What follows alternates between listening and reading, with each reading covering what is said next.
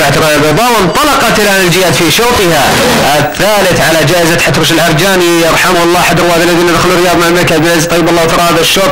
لجياد وفراس الإنتاج السعودي عمره ثلاث سنوات في شوط مفتوح درجات وعلى مسافة ال 1400 متر قيمة الجائزة 52 ألف ريال الصدارة الآن لصرام في المركز الأول الخاطم في المركز الثاني والمركز الثالث. لمذواق على ما يبدو.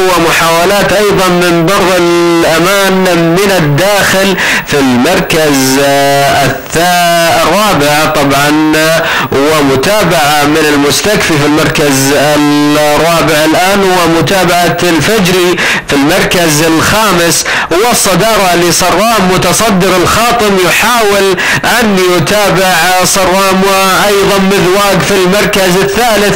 المستكفي في المركز الرابع تأخذ الجياد المنعطف الأخير باتجاه خط النهاية وصرام في المركز الأول متقدم الآن بحوالي طول ونصف الطول عن الجواد الخاطم محاولات من مذواق في المركز الثالث أيضا والمستكفي في المركز الرابع وآخر 150 متر في هذا الشوط الخاطم يتقدم للصدارة الآن ومحاولة مذواق الخاطم يحقق المركز الأول في الشوط الثالث لجياد وأفراس الإنتاج السعودي.